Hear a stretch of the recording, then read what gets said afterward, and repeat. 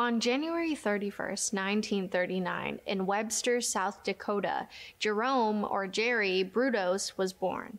Right from the jump, Jerry's mother, Eileen, made it abundantly clear that she did not want to have another boy. His mom was very verbally and physically abusive towards him.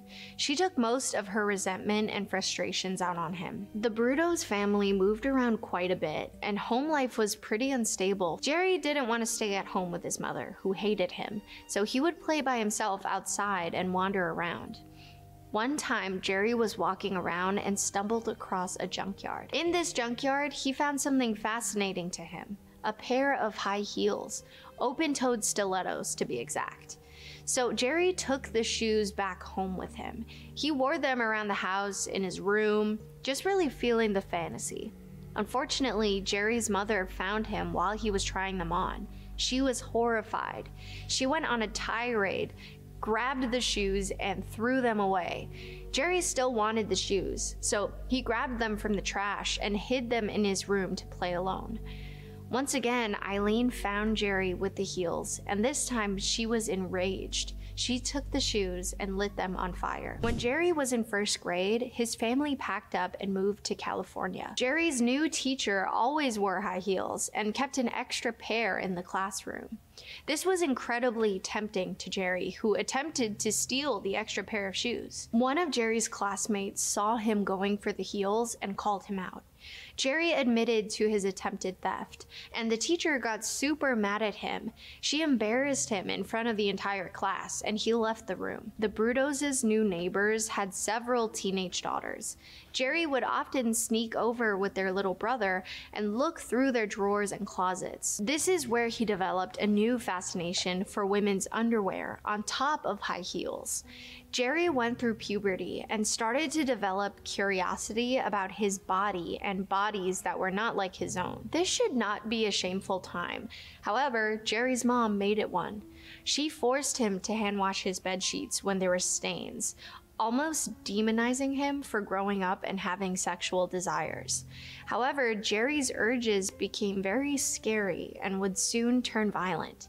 Jerry began stalking his female neighbors and would look through their windows.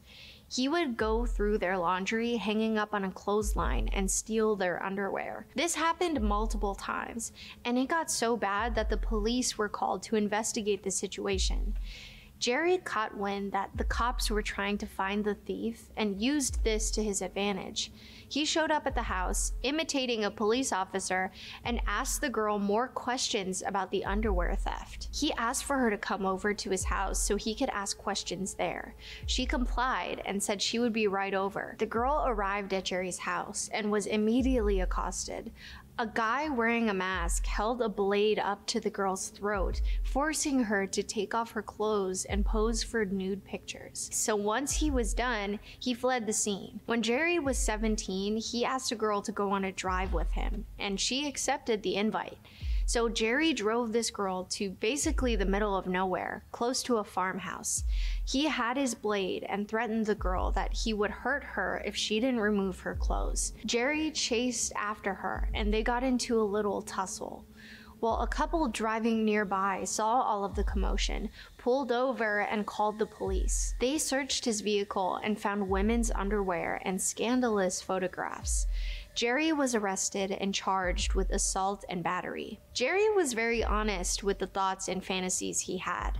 For example, he fantasized about capturing a girl, forcing her to do whatever he wanted, and watching her beg to be let go. Many of his fantasies revolved around the hatred of his mother, Eileen, and wanting power over women. He was diagnosed with schizophrenia and got released after nine months because the doctors considered him no longer a danger to society. He didn't know what his next steps were, so he enlisted in the army at age 20. While in the army, Jerry was referred to an army psychiatrist who discharged him because of his weird obsessions. Once he was released, he was forced to move back in with his parents and live in their back shed. The creepy shenanigans started up again, and this time Jerry would become increasingly more violent with his victims. So Jerry was driving around in his car when he spotted a young woman walking home who he decided to follow. When he saw the coast was clear, he jumped behind her and choked her until she passed out. Then he stole her shoes and made a run for it. The woman reported the incident, but she didn't see his face, so there wasn't much the police could do. Jerry got a job as an electronics technician and worked at a radio station. While there, he met a 17 year old named Darcie Metzler, and the two started dating. After that, they moved around a lot, as it was difficult for Jerry to keep a job, and Darcie became pregnant. She gave birth to a daughter and later on a son. Back at home, things were super weird. Jerry made the basement his dark room to process the creepy photographs he had taken of women and their undergarments. He also wanted Darcie to dress up in the stolen garments and pose naked for photographs. She was not into this, which really upset Jerry.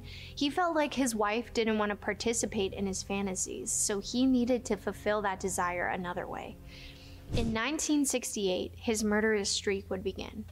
On January 26, 1968, there was a knock at Jerry's front door. Linda Slawson, a 19 year old girl, was going door to door selling encyclopedias. Linda followed him down into the basement, where unfortunately, Jerry took a piece of wood, knocked her over the head, and strangled her to death once she was down. This was Jerry's first murder victim. Jerry proceeded to dress Linda up in all the different items he had stolen. He put her in various undergarments and high heels and posed her body for pictures. After doing this, he cut off her left foot as a trophy and placed it in a high heel. He then stored it inside a freezer to preserve it. Jerry managed to sneak the body into his car. He drove to the Willamette River, pretended he had a flat tire, and used that as an excuse to pull over and dump the body. Jerry would not lure another victim to their death until November that same year. Within that time frame, Jerry and his family packed up and moved to Salem. On November 26, 1968, Jerry saw 23 year old Jan Susan Whitney on the side of the road. Her car had broken down between Salem and Albany. Jerry pulled over and offered help, even offering to give her a ride back to his house to call a tow truck. Jan accepted the offer because she had no other option. They arrived at his home, and Jerry proceeded to strangle Jan in the car. Once she was lifeless, he took her body into a secret garage hideout and hung it from a pulley. He dressed her in the stolen underwear and shoes, violated her body, and took photographs. After this, he removed one of her breasts, made a mold of it, and painted it gold. Three months later, on March 27, 1969, Jerry found his third victim. A 19 year old college student named Karen Sprinker was walking to her car parked outside of a department store. Jerry, dressed in drag, approached Karen from behind and threw her into his vehicle. He restrained her and drove back to his garage. Once inside, he forced her into underwear and took photos of her. He repeatedly assaulted her and tragically strangled her with a pulley until she passed away. Multiple attempted kidnappings during this time were unsuccessful. For example, Jerry tried to abduct a 14 year old girl named Leanne Brumley, but she escaped. In April of 1969, back to back kidnappings failed. One, Sharon Wood, a 24 year old, fled after Jerry approached her with a gun in a parking garage. The next day, Jerry attempted to abduct a 15 year old girl named Gloria Smith but thankfully she also got away. April 23, 1969, Jerry pretended to be a police officer outside a shopping mall. He approached Linda Salee, a 22 year old, and said she needed to come with him to the station. She complied because she believed he was who he said he was, and sadly, Jerry would take Linda's life. He violated her body, strangled her, and even electrocuted her. Then, after he was done playing his disgusting game, he tied a car transmission to her body with a nylon cord and threw her body into the river. In May of 1969, a fisherman discovered Linda's body in the Long Tom River. Two days later, Karen's body was found just 50 feet away. The police knew they had a serial killer on their hands. Based on the ages of these women, the police started patrolling the nearby college campus. Hundreds of women were questioned by police about a strange man targeting young women. Finally, after tons of interviews, they got a name and description. Jerry Brudos. So the cops start looking through Jerry's file. They saw that Jerry had been arrested on assault charges before. They also found that Jerry was an electrician, which stood out to them. The cord used to tie these women up was all the same kind used by electricians, and one of the bodies had markings attached to electrocution. The police searched Jerry's place and found a myriad of disturbing things. For one, all the photographs of these disturbing crimes women's shoes and underwear, the wires and tools used to tie his victims. The police were on their way to his house with an arrest warrant, and this guy tried to flee. The authorities caught him and threw him in jail. While there, he tried to convince his wife to burn any evidence, to which she said, absolutely not.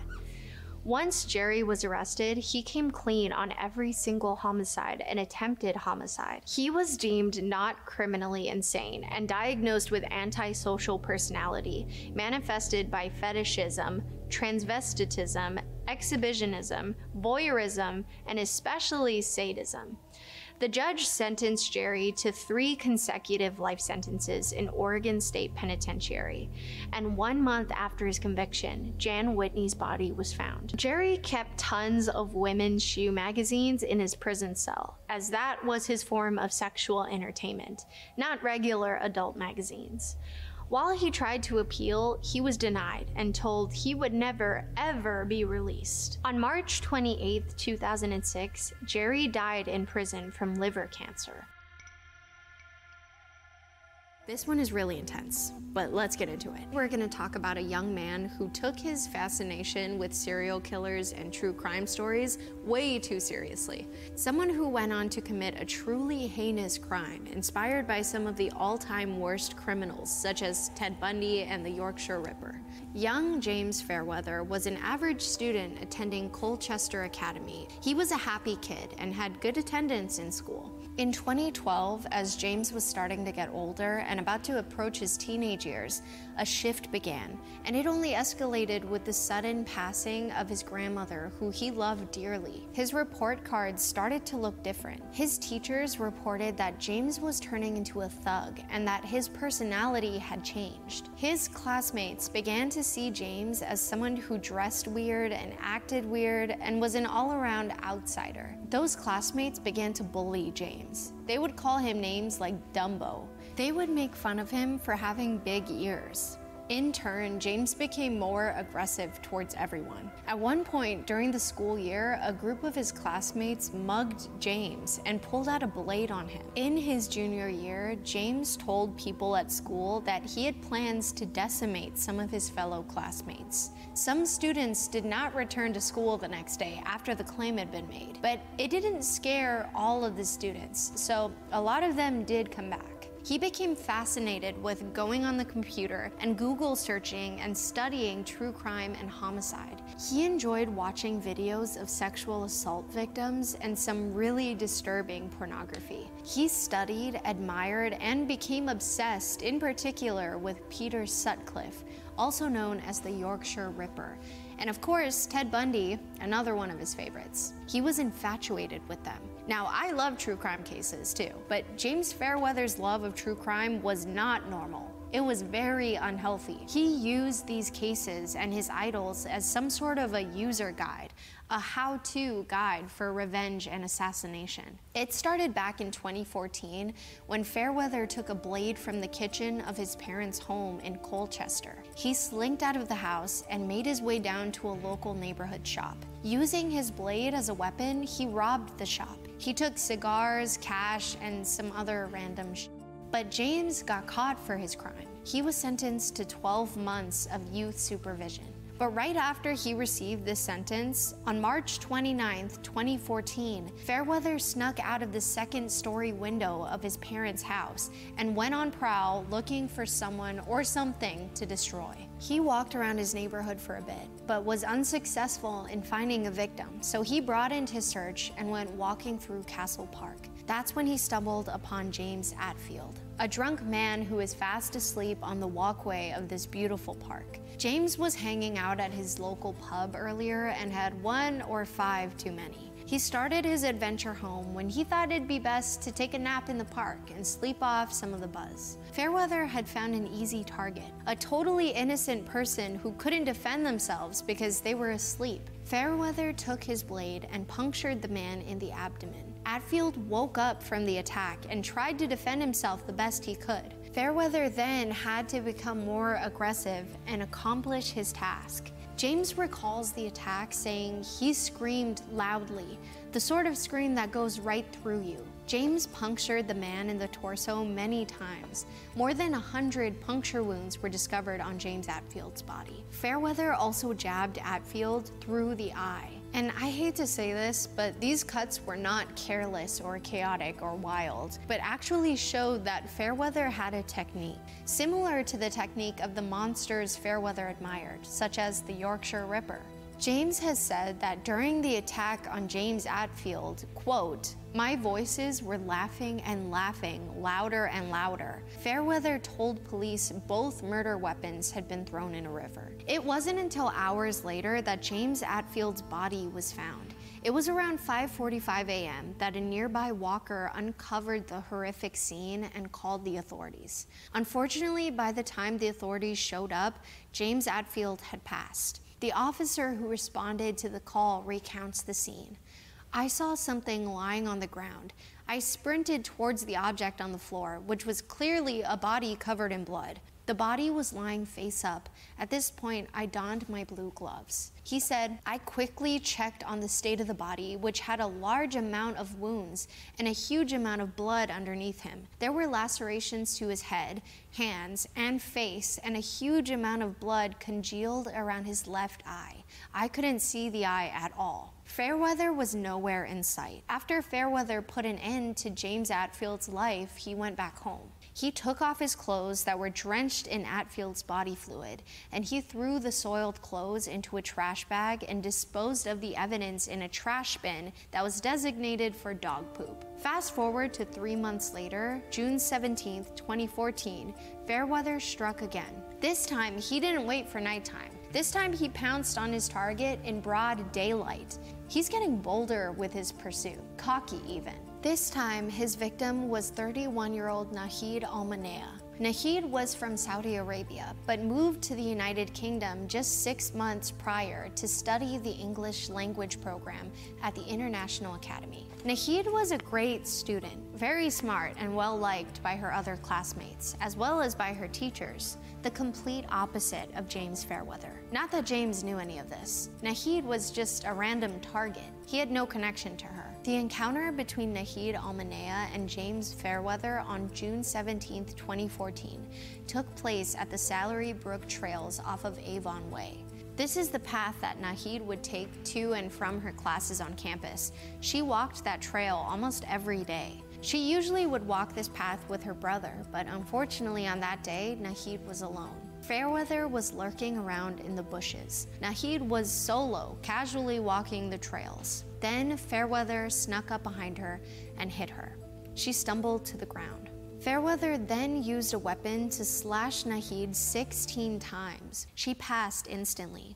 Once he was done with Nahid, he chucked his weapon into the nearby river, disposing of the evidence. James once again took off his dirty clothes, dripping in red, and put them into the trash. James Attfield and Nahid Almanea's bodies were found only two miles apart, and the crimes took place just a couple of months apart. But even with this information, the police had nothing to connect these two crimes. At first, they thought they were unrelated crimes. No leads came in, and there were no real people of interest at the time. A 10,000 pound reward for anyone coming forward with information about the person who committed these crimes was offered, but no one ever came forward with tips or clues. There were multiple composite sketches of who the authorities might be looking for that were released to the public, but none of them actually looked anything like our guy James Fairweather. Fairweather seemed to have gotten away with both of these heinous crimes until May 26, 2015, a whole year later. It was around 11 a.m. that Fairweather was back on Salary Brook Trails and in search of another victim. He was back in the bushes, just a few feet away from where Nahid had passed. A woman walking the trail noticed Fairweather and had a gut reaction. She saw him, stopped her route, turned around, and started walking back in the direction she just came from because she was picking up on his vibe. She made a call to the police stating that there was a strange young man stalking around in the bushes and acting suspicious. She also found it odd that he was walking in the dog section of the park, but he didn't have a dog with him. She recounts that day at the park, saying, He was no more than 15 feet away and staring straight at me. It's a face that will never leave me, a manic look. Back to the story. Police arrived on the scene to find 16 year old James Fairweather trying to flee, but they stopped him. He said he was just out for a walk to clear his head and that he didn't feel right. The police asked him to take his hands out of his pockets, and he complied, revealing he was wearing rubber gloves and carrying a lock knife. He was then taken into custody. That evening, he confessed to both crimes. He said he had found James Attfield asleep the night the voices in his head were telling him he needed to make the sacrifice and execute James, and that James was the chosen one. The voices said if Fairweather didn't go through with these actions, the voices would come after Fairweather himself. He said the voices were laughing at him louder and louder.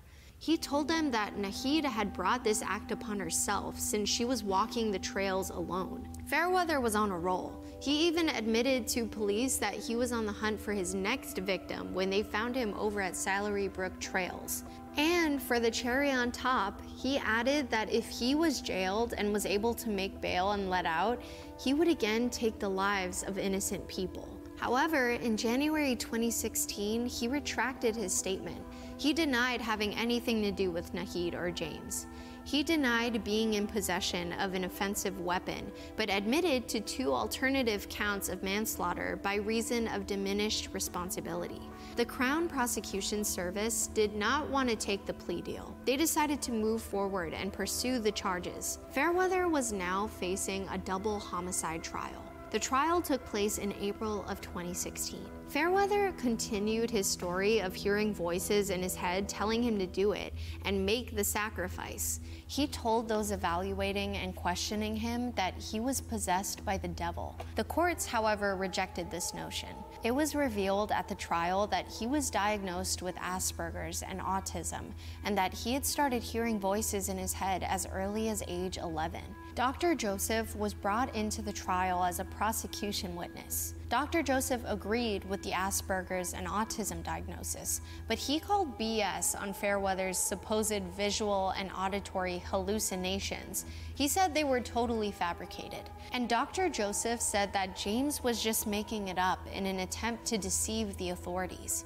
He was using the hallucinations to distance himself from the reality of what he had done. We know that Fairweather was obsessed and studied all those horrible criminals, and his internet search history can prove that. Talk to any of his teachers, talk to any of his schoolmates. It was brought to the attention of the court that Fairweather revealed to the doctors evaluating him for this case that he had intentions of executing at least 15 more people, but didn't because he got caught. So this feels like a no brainer. James Fairweather needs to go to jail. The jury for this case took eight plus hours to reach a final decision, but eventually they found him guilty of both murders. He was sentenced to 27 years in prison without the possibility of parole. And in true James Fairweather fashion, he reacted to the verdict by giving a thumbs up, and then he looked over to his parents and mouthed the words, I don't give a Talk about no remorse for your actions. So disrespectful. What do you guys think? Is James Fairweather the worst criminal we've ever covered? Do you believe he was hearing voices in his head leading him to commit these vicious acts? Was it really his grandmother's death that sent him over the edge, or was he just a ticking time bomb? I want to hear all about it, so please let us know in the comments below. I'm Brandy, this has been Killer Bites. Stay safe out there, and be wary of people at dog parks that are there without a dog. See ya!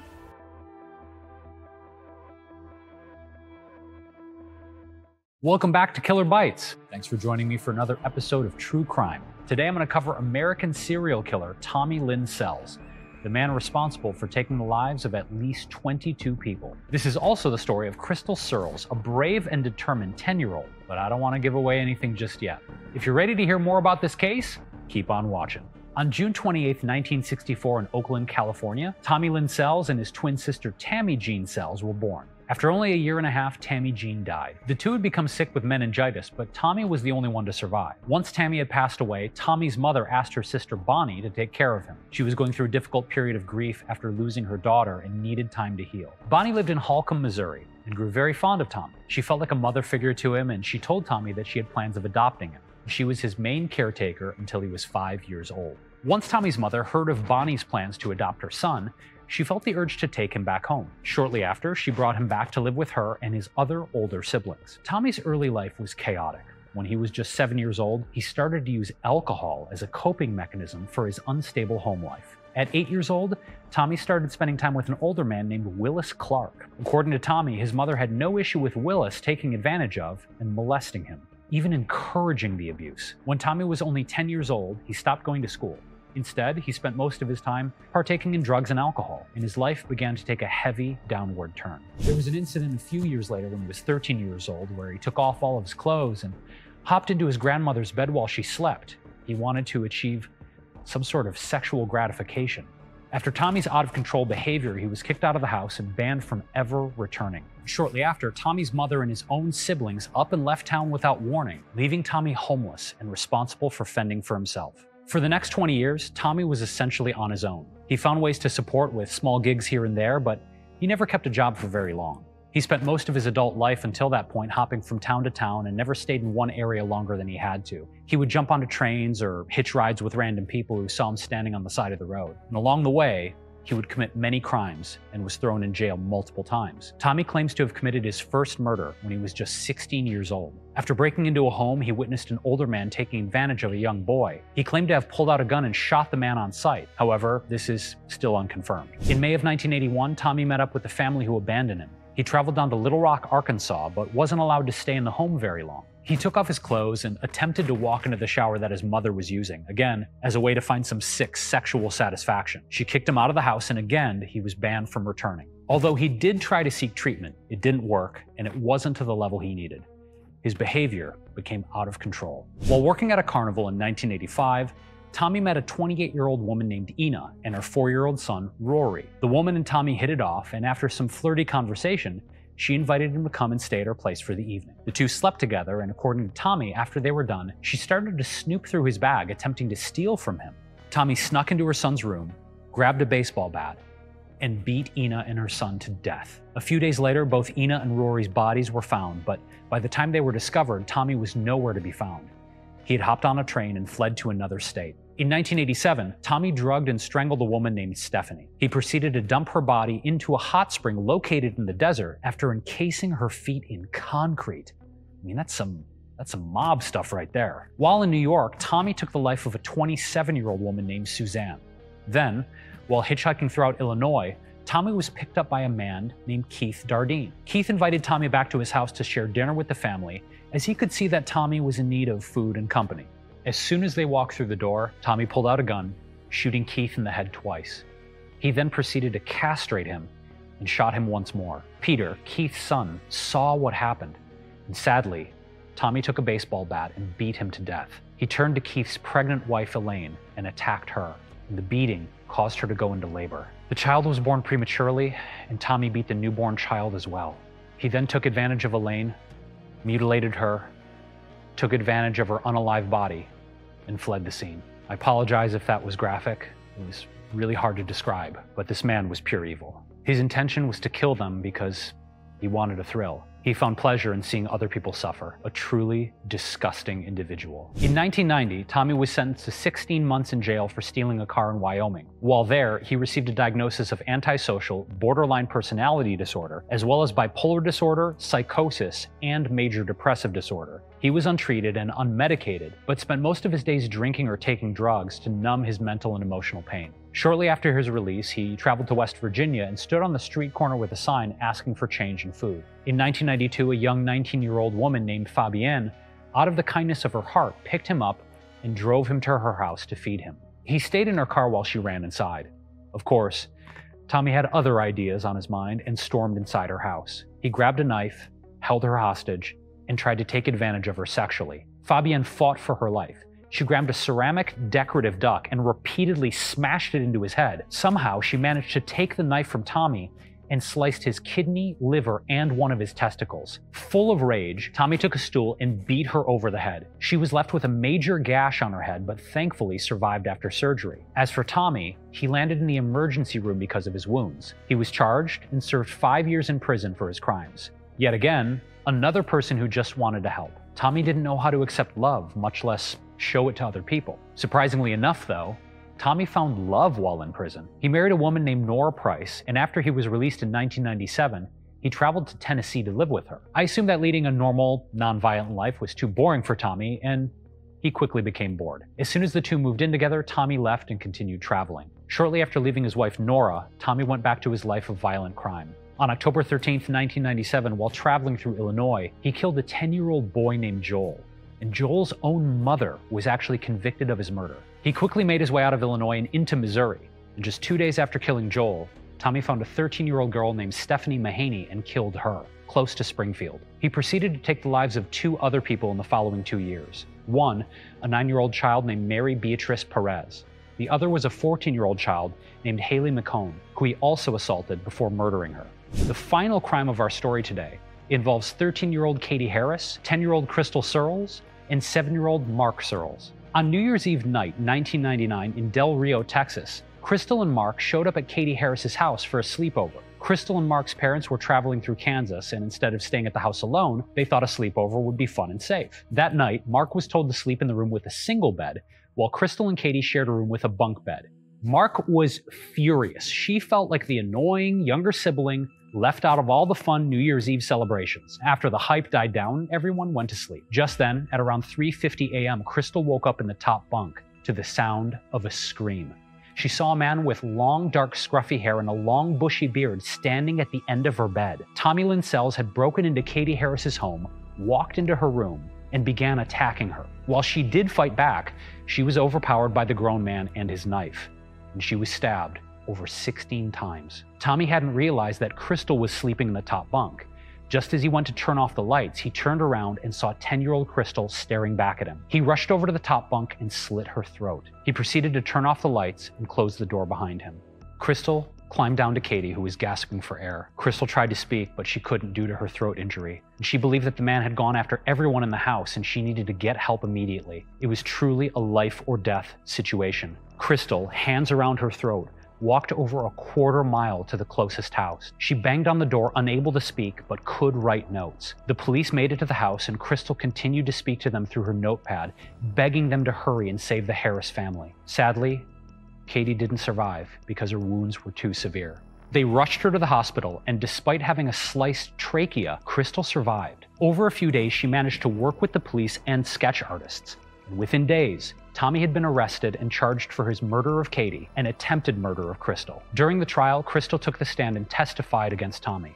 Can you believe a child as young as she was was brave enough to face him again? He was found guilty and sentenced to death. This is where he confessed to many of the other crimes he committed, explaining that he had harmed over 70 people. In April of 2014, Tommy died by lethal injection in Texas. The Harris family, the Perez family, and Krystal Surles all attended. That is the end of our story. And what did you all think of this one? I can't believe that it took so long to finally put this man behind bars, but because of Krystal's fight to stay alive and her bravery to testify against him, he finally lost. Thank you all so much for watching this episode, and if you want to watch some more, feel free to check out the Killer Bites page. Until next time, see you later.